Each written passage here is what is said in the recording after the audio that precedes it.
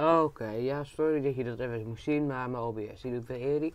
Dus eh, vandaag ga ik aankondigen dat ik dus gewoon een eh, survival serie ga starten. Eh, en dan kan je denken, boe, boe, survival, boe. Nee, maar we doen het op deze wereld hier die je nu al ziet. Ik heb hem nog eens expres laag gedaan, want ik wil niet heel veel dingen spoileren. Maar het is gewoon een custom map wereld, zodat het niet zo standaard is. Ik zie er een zombie. Hallo meneer zombie. En eh, ja, ik wil gewoon dan met kijkers, ik laat ook gewoon even zien. Ik heb het gewoon via zo'n eh, gratis host site gedaan hoor, maar... Kijk, hier. Ik zal ook meteen even het laten zien. Het staat ook in de beschrijving, nog geen zorgen, maar...